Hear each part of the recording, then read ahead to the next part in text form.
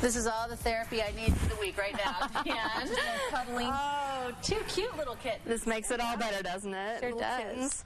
These are our Mountain America Pets of the Week. We have Olaf, who is a three-month-old little boy. Uh-huh. Okay. And Annie, who's also a three-month-old little girl.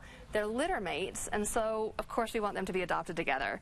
Two kittens are much better than one. They just help keep each other company and chase around the house and play hide and seek. one is black and one is white. But and they're litter from the same litter? They're from the same litter. When you say litter mates, that doesn't just mean they're friends. No, li- yeah, they're, they're brother and sister. Brother and and sister. Annie here you can see is um, a special needs kitten. She has an adorable little round head, but it's a hydrocephalus.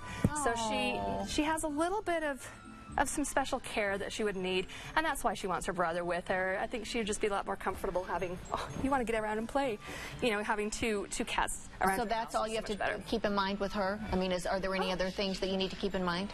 Um, she has a little bit of a, an issue with her litter box. So if someone's a little understanding, she's just a little, little. Um, Okay, still trying to she- learn? Yeah, still trying to learn her litter box. She's not quite as natural as a normal cat. She tends to go to the side of the box and not in the box. Ah. So she could use a little work and a little patience. Okay. But that's why we want to definitely find her a good home because she's she's special. She's cute as can be. She has a teddy bear face. she does. yeah, for a little kitten. She does. So, Dan, what's their adoption fee?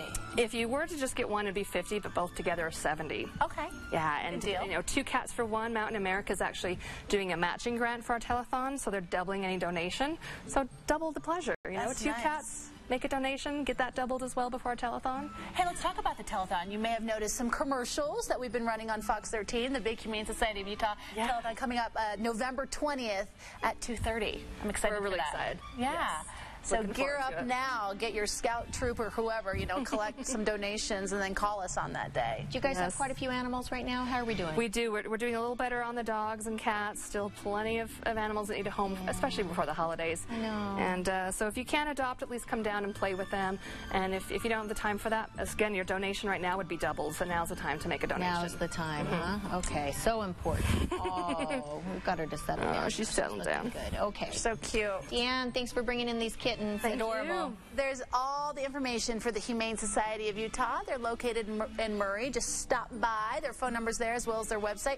We could link you over from our website, fox13now.com. Dan, thanks for bringing in the kittens. Thank you. Really. It's sweet. Makes That me feel is better. so cool. And and you know what? I'm going to be doing that telethon too. Uh, Kelly, are you uh, going to be a part of it? I am this year? in. I'd love to be part of that. I'm. Awesome. it is so fun to do. It's, it's just a it's a great event.